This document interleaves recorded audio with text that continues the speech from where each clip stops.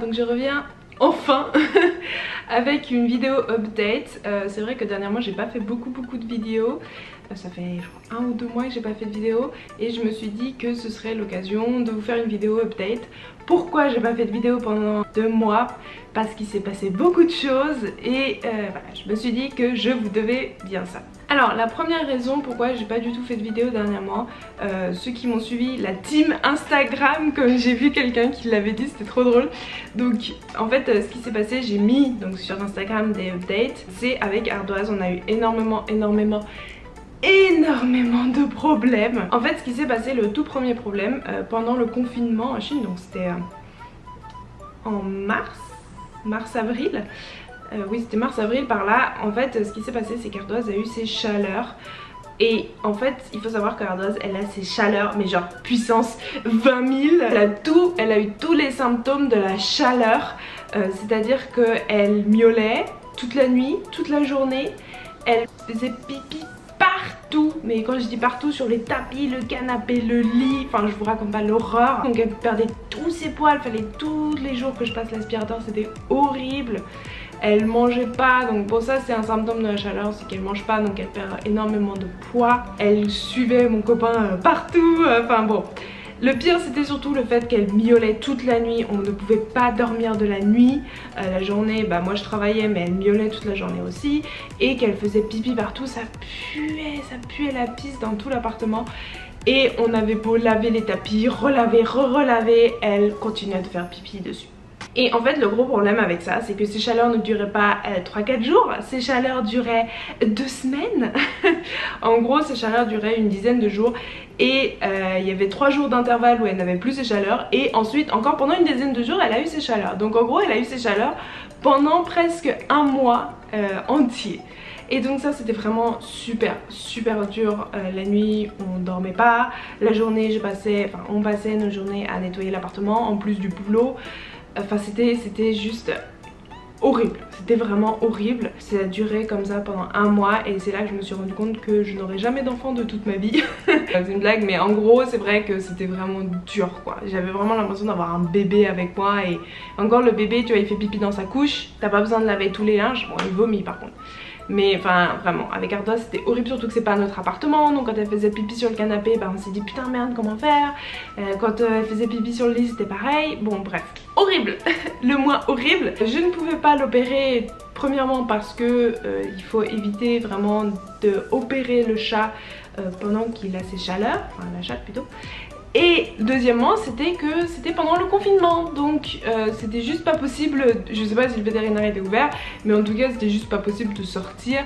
Et de toute façon avec le virus qui courait je voulais surtout pas opérer Ardoise ce qui est normal. On a passé un mois horrible, ensuite pendant une semaine elle n'a plus ses chaleurs. Et ensuite elle a encore eu ses chaleurs pendant un mois. Donc en gros presque deux mois de suite on a eu euh, des chaleurs, je pétais un câble. Et en fait pourquoi c'était vraiment dur euh, parce que déjà euh, pour nous euh, on était crevés, on était fatigués et même dans la relation avec Ardoise, ça allait plus parce que moi je m'énervais pour un rien, je l'engueulais pour un rien. dès que je voyais qu'elle commençait à pisser, je lui gueulais dessus. Enfin même je sais qu'il faut pas le faire pour un chat, mais j'étais tellement sous tension que je pouvais plus quoi. Et Ardoise, je voyais qu'elle elle était pas bien. Elle était, elle sentait qu'il y avait la mauvaise ambiance dans l'air toute la journée. elle voyait que ça allait pas et, elle était tout le temps euh, stressée, même pour elle du coup c'était super stressant, était tout le temps stressée, enfin bref. La relation n'allait pas non plus et vraiment c'était euh, horrible. Bref, deux mois ont passé donc il y a un mois, euh, fin mai, début juin, on a finalement décidé d'opérer Ardoise. Et donc, c'était drôle parce que la veille de l'opération, je vois qu'Ardoise commence à se frotter par terre. Et là, je me dis, putain, à tous les coups, elle a encore ses chaleurs. Parce qu'il faut savoir qu'en fait, euh, un chat peut avoir ses chaleurs plusieurs fois dans l'année. Jusqu'à, je crois, 6 ou 7 fois dans l'année. J'ai vu qu'elle avait à nouveau ses chaleurs. Enfin, en fait, j'étais pas sûre qu'elle avait ses chaleurs. Mais comme je voyais qu'elle se frottait partout, quand j'ai vu ça, je me suis mise à pleurer. Et je me suis mise à chialer. J'étais vraiment... Je me suis dit, putain, on va pas pouvoir l'opérer demain. On va encore avoir un mois infernal. Euh, j'étais vraiment au bout de ma vie. J'en pouvais j'ai même posté une vidéo sur Instagram où j'ai une gueule, mais genre euh, de zombie. Pendant la nuit, on a enfermé Ardoise dans une pièce. Elle a pas dormi avec nous parce que je me suis rendu compte que quand elle était avec mon copain, euh, elle avait ses chaleurs. avec moi ça allait, mais dès que mon copain était là, elle avait ses chaleurs. Donc ce qu'on a fait, on l'a enfermée dans une pièce pendant la nuit et le lendemain on l'a emmenée chez le veto. Et bon, elle avait pas les chaleurs. Je sais pas si finalement elle avait ses débuts de chaleur ou pas, on n'en sait rien. Bon, en tout cas, elle avait rien le lendemain. Donc on l'a emmenée chez le veto, il l'a opéré, tout s'est bien passé. J'étais super stressée toute la journée.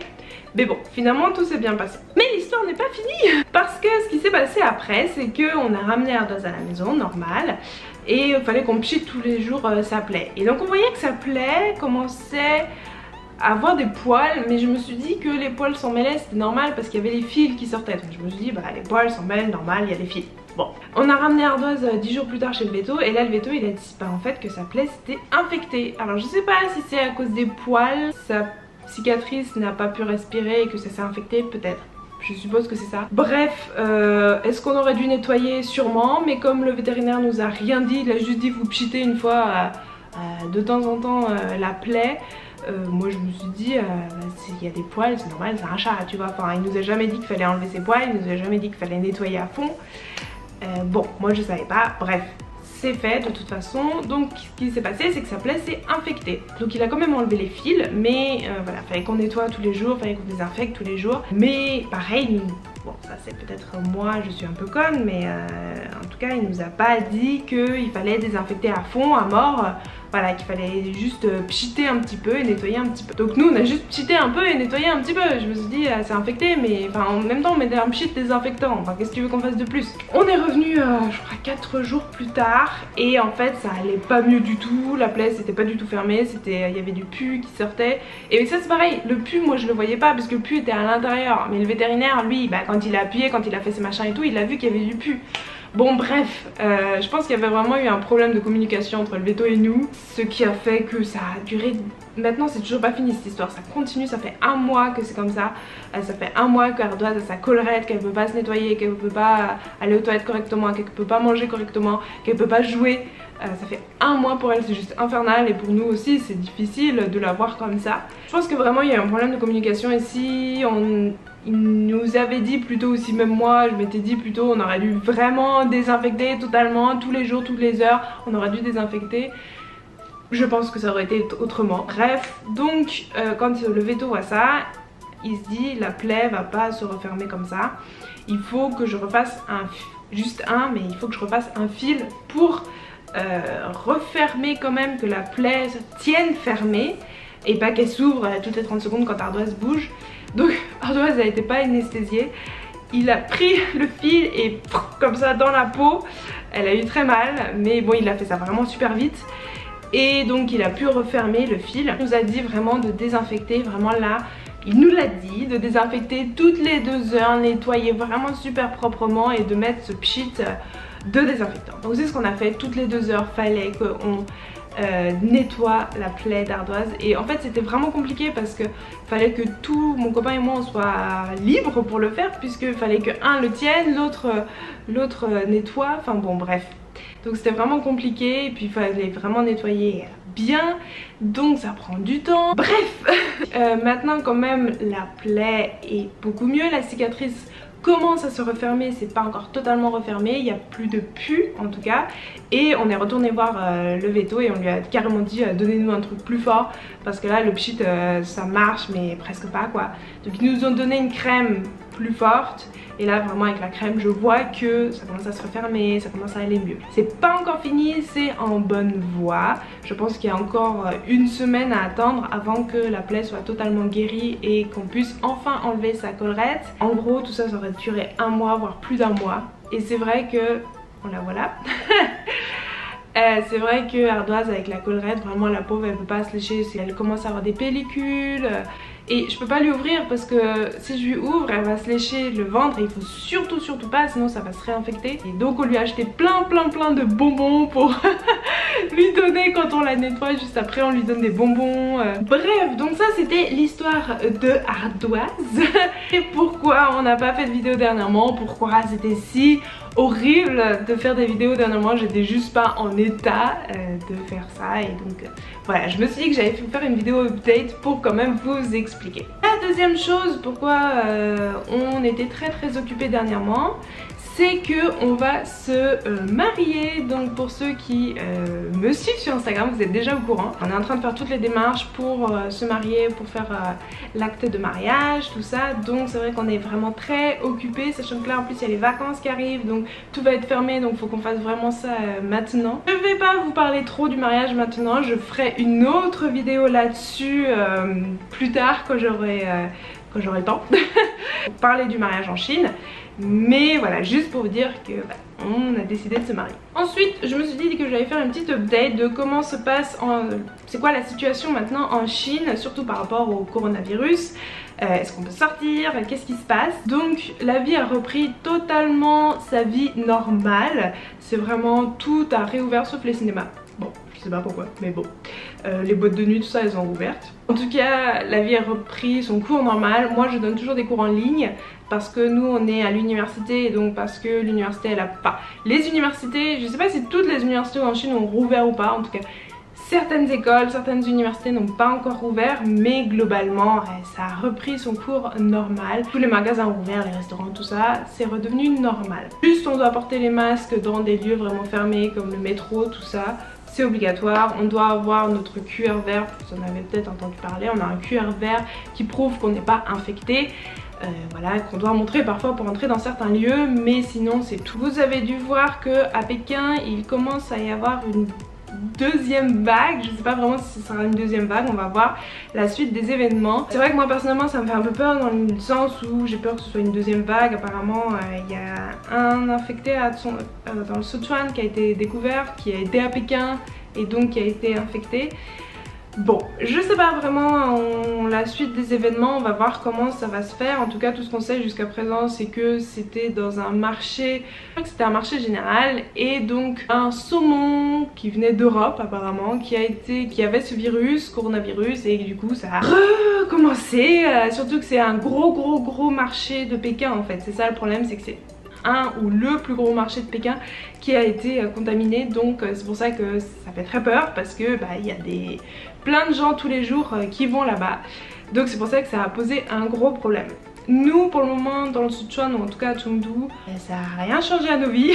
je sais qu'à Pékin, il y a certains quartiers qui ont refermé tout ça. En tout cas, nous, non. Sinon, une autre chose que je voulais vous dire, je voulais vous remercier en tout cas de me suivre. Ça fait, C'est vraiment cool. J'ai remarqué que mes dernières vidéos ont beaucoup, beaucoup, beaucoup moins de vues. Enfin, avant, j'avais genre 1000, 2000 vues, 100 000 vues, 10 000 vues. Mais euh, dernièrement, j'ai vu que j'avais vraiment beaucoup moins. Je crois que maximum c'était 500 ou 700 vues. C'est vrai que pour ma chaîne c'est vraiment vraiment pas beaucoup, sachant qu'on est 2000 abonnés déjà. Mais euh, je conçois que je fais moins de vidéos, les gens qui me suivaient avant me suivent peut-être plus, peut-être que mes vidéos n'intéressent moins, je sais pas. Mais en tout cas je voulais vous remercier parce que j'ai remarqué que même si j'avais moins de vues, euh, j'ai vraiment une communauté qui s'est mise en place, qui me suit, vous êtes vraiment super, vous m'envoyez plein de commentaires super sympas, vous me suivez, je vois certains qui suivent vraiment toutes mes vidéos, qui m'envoient des messages par Instagram juste pour papoter ou juste pour me dire ouais c'est trop cool ce que tu fais. Donc je voulais vraiment vous remercier parce que même si je fais moins de vues, je suis vraiment toujours motivée à faire des vidéos parce que je vois que j'ai vraiment une communauté qui me suit, vous êtes vraiment super. Donc euh, merci beaucoup à vous. D'ailleurs bientôt on va voyager donc je vais refaire une vidéo de voyage. J'oublie pas les autres vidéos que je avais dit genre euh, sur le permis de conduire, voilà d'autres choses. J'ai eu d'autres idées entre temps et tout. Je me suis dit ah je peux faire une vidéo là-dessus. En tout cas continuez à me suivre, vous êtes super. Ça fait toujours plaisir de recevoir des commentaires ou des messages super sympas. C'est vraiment super motivant surtout que comme j'ai moins de vues euh, je vais dire bah ça plaît moi. Mais en fait comme j'ai vraiment des gens à une communauté me motive à fond donc en tout cas merci beaucoup ah une autre chose que j'ai oublié euh, je voulais vous dire que euh, j'avais pris des photos et des vidéos tout ça de la période quand Ardoise n'allait pas bien mais il faut savoir que euh, ce qui s'est passé c'est que mon portable du jour au lendemain en fait ce qui s'est passé c'est que j'étais à la salle de sport j'ai mis mon portable dans mon casier et quand j'ai ressorti mon portable, et eh ben il ne marchait plus. Super J'ai dû me racheter un portable surtout qu'en Chine, si vous ne vivez pas en Chine, vous pouvez pas savoir mais il faut savoir qu'en Chine, le portable c'est votre kit de survie. Vous n'avez pas de portable, vous ne pouvez pas vivre en Chine. Vous communiquez par portable avec euh, votre travail, vous communiquez par portable avec votre classe, vous communiquez par... Enfin vous communiquez pas mais pour euh, prendre le métro, pour prendre le bus, pour euh, acheter des choses, pour aller au supermarché. Ça il faut un portable donc sans portable vous ne pouvez pas vivre. Donc j'ai dû racheter le lendemain matin avant que mon boulot j'ai dû racheter un portable. C'était super stressant parce que du coup je pouvais pas entrer dans le centre commercial avec sans mon portable puisqu'il fallait montrer le QR pour montrer que euh, j'étais pas infectée. Donc j'ai dû expliquer au mec que mon portable était mort qu'il fallait que j'en rachète un. Enfin bon bref finalement j'ai pu en racheter un pas cher parce que j'avais pas d'argent pour en acheter un cher. Donc voilà. Bon tout ça pour vous dire que j'ai plus de vidéos plus de photos tout ça de ardoise quand tout ça s'est arrivé. Donc je ne peux pas vous montrer. J'ai tout perdu voilà. Donc voilà c'est déjà la fin de cette vidéo j'espère qu'elle vous aura plu. N'hésitez pas à me suivre sur Instagram c'est vraiment là où je poste euh, voilà des stories euh, je poste vraiment pas mal de choses. Donc n'hésitez pas à me suivre. Voilà bye bye